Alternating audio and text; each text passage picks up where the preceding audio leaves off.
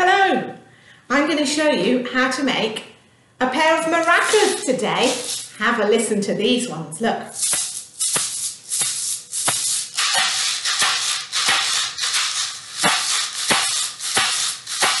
They're lots of fun and quite easy to make. What you'll need is an empty little bottle that's been dried out. You'll need an old toilet roll, some scissors and some tape. You might like some extra decorations too, some colourful tape or some paper or stickers. And then you'll need something to go inside to make the sound. I've used rice in this one and corn in this one. And I'm going to try using some little paper clips in the next one. So let's see, what do we have to do first?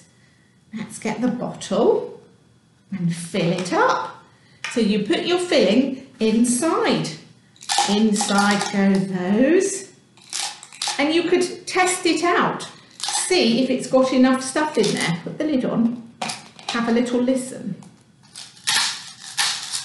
Yeah, I'm happy with that but you can add more or take less, you know, do less if you like in yours.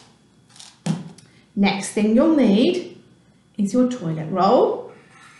You need to cut one line all the way from top to bottom, like this. There we go. So it can be opened like that. And we're going to wrap it just around the lid. Here we go. See if you can get it nice and tight because this is going to be your handle. And you don't want your handles flying off when you're trying to play, do you? So you hold that nice and tight and then get yourself a piece of tape and make sure it's secure. I'm going to secure it at the bottom, secure it at the top. There we go. Now, in theory, that's your maraca finished.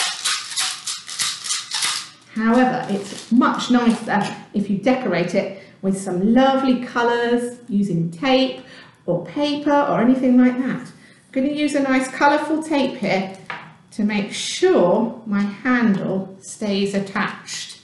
So I'll put a nice piece of blue tape tightly around. There we go. And we'll put another piece at the top to make it look extra special.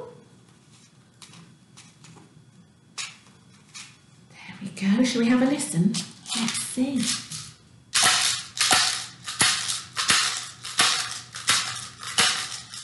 It worked. I hope you have fun making one at home with your own things inside.